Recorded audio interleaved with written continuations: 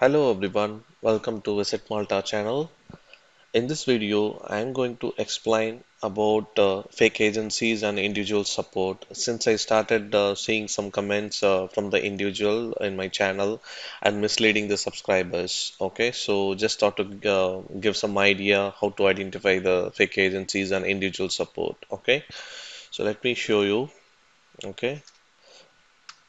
Before you go and trust anyone, just ask yourself some questions. Okay, don't trust uh, just trust the individual supports from social media, YouTube channel, and comments, and Facebook and WhatsApp and advertisement, unless you know if they are 100% reliable. Okay, and also remember the professional companies here in Malta are recruiting the candidates only through the registered job agency okay, who has a valid company registration, website, official direct line, emails.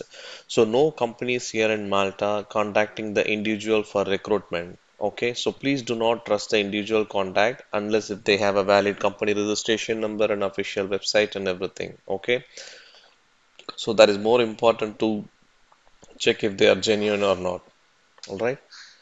The next one is um, check Malta embassy in your country is accepting visa because due to the COVID, many countries um, Malta embassy stop um, stop processing the visa application. Okay, remember the visa application is different than the working permit, as I have explained in my many videos. So visa is completely different than the working permit. So working permit is the first one that you have to get, then only you have to proceed the visa. Okay, because many many uh, candidates I see uh, they got the working permit, but visa is not accepting by the respective uh, country. Okay, so visa is to for travel, otherwise your working permit will get expire and you will end up law. I mean, you will end up losing agency fees. What happen is nowadays I see uh, many agencies as uh, offering a job and collecting some money from the the candidates and uh, proceeding the work permit. Okay, and once the work permit is get ready and they have provided the work permit copy to the email uh, through the email to the candidates and ask them to proceed the visa. Unfortunately, in the respective country, visa was not processed and the work permit is valid only for 180 days. After that, your agency has to renew your working permit unless the working permit will get expired and you're losing money by paying the work, working permit cost. Okay, so before you proceed, make sure in your country the Malta embassy is active and open and uh, they're accepting visa. Okay, or you can talk to your uh, company or agency and let them know currently the visa process is stopped, so you have to hold the working permit. Okay, and again, is uh, just check is your agency registered as a company or individual. Okay, and ask the previous employment proof from your agency and verify if they have a valid proof uh, of the previous employments. Okay, and uh, check if the job offer is given by your agency or your employer. Because sometimes what happens is agency is uh, uh, having a contract with your employer and having another contract with you and reducing the salary. Sometimes they have a- own own all rights to uh, uh, terminate your contract anytime. So make sure the job offer provided by your agency or the employer. Okay? And Next one is uh, will your agency extend the working permit or provide full refund if any rejection of working permit or visa? As I mentioned a few minutes back, just check with your agency will they ready to uh, refund the full amount if your working permit or uh, the visa get rejected. Okay, so that's more important, otherwise you will lose some money. Okay, and the next one is ask about job security and mention it in the contract if possible. Okay. So, for example, if it's a six month contract or a one year contract or two year contract or indefinite contract, mention it in the job contract and before you uh, sign the contract. Okay. And next one is do you need to pay if you changing your job before the contract end? For example, if you sign for one year contract and you'll get another job, um, you are changing another job within a six month Okay, some employer want you to pay pay the remaining six months salary to the employer. Okay, so you have to make sure and clarify if you are changing and breaking your contract, will you have to pay to the employer or will your employer will uh, ready to leave you within a six month without paying anything? Okay. So that's uh, that's very important because many agencies is uh, collecting money if you're breaking the contract. Okay, so make sure that uh, there is no amount you have to pay if you would like to change a job. Change a, change a job. You should uh, you should be free to change a job. Okay.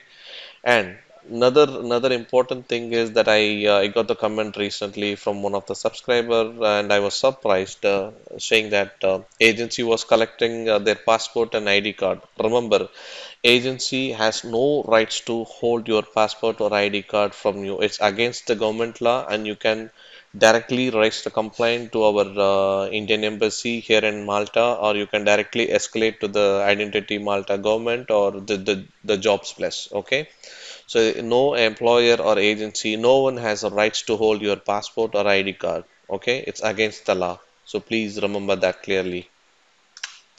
And please remember the working permit cost only 280 euros as on September 2021 by government of Malta. No other additional or extra cost to be paid for the working permit.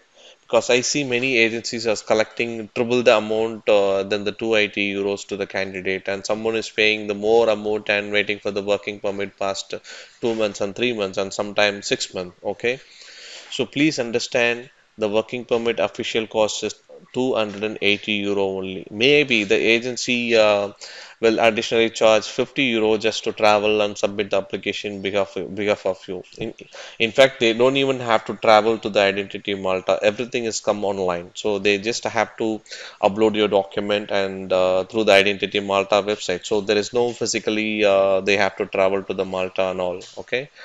So there is no manual work uh, involved too much uh, to collect additional cost. So, so remember the actual working permit cost is only 280 euros.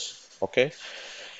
And um, the next one is the don't just go by the email and documents when you get a job offer. Instead, just call your agency or company direct line and verify the address and the contact is correct. Okay.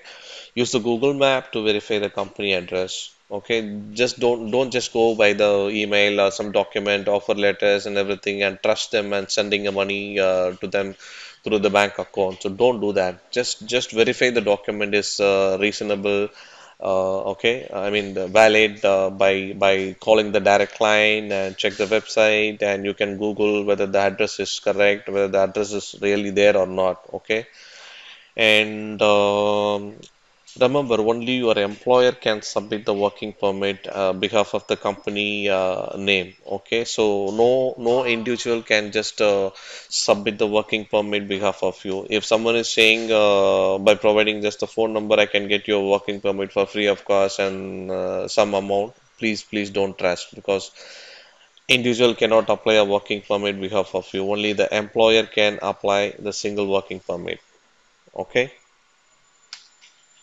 and the last one, genuine agencies will always be transparent and provide whatever information you asked. Okay.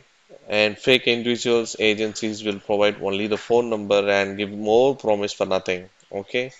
So please be careful uh, with the individual support and uh, some uh, fake agencies before you uh, trust them. As I see, uh, started seeing the comments saying that uh, I can offer you a working permit and etc. Okay, so please make sure you read all the questions and uh, and uh, just be alert before you uh, trust someone uh, for a working permit. Okay, and hope this video is very useful and let me know if any clarification. You can reach me out always through visit to malta at gmail.com for any clarification or you can send send the comments in the in this video which I can help you out directly. All right. So good luck. Thanks again for watching this video and your subscription and share the video will motivate me to create more videos. Thanks again.